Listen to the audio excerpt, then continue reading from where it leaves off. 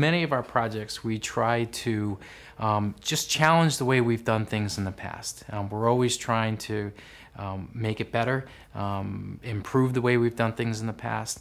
And I think one of the um, common themes um, with all the departments and all the folks that we've met here is everyone is interested in doing that. So this is the way we've done it before. How can we do it better? How can we be more efficient? How can we provide better care? During the course of the project, I got to I got a chance to work with over 150 people.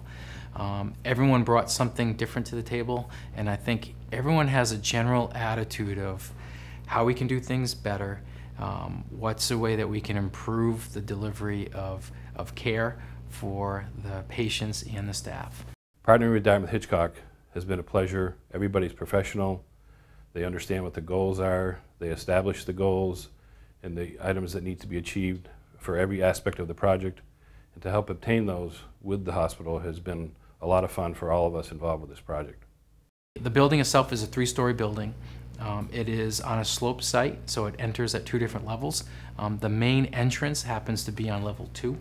Um, and this became what we referred to as the primary care floor.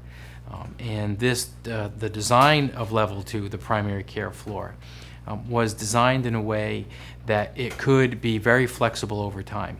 Uh, when the building opens, we'll have three different departments in the building, but over time that could be 10 departments or it could be one department.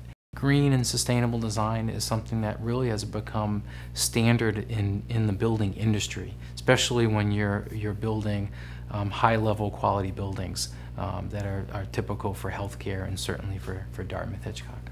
On this project, um, specifically, we have a, a, very energy efficient mechanical system, and that deals with the cooling and heating of the building. Um, we have energy efficient lighting.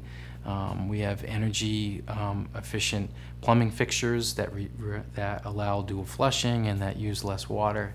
Um, we have an efficient exterior envelope, um, which is that has a, has a uh, very intricate air and vapor barrier system.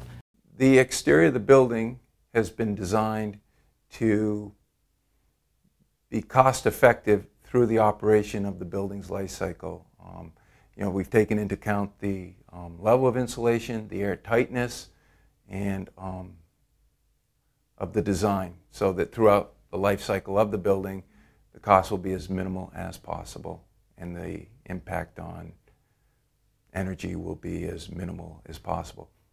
We'll have a recycling program that will keep waste out of the mainstream.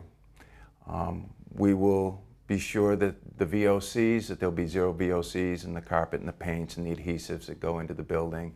And we will, wherever possible, buy regional material. And those are all things that support, from our side of it, the sustainability of construction and the greenness of construction.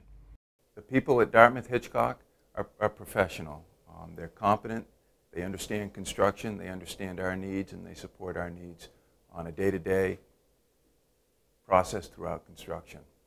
It's been very positive.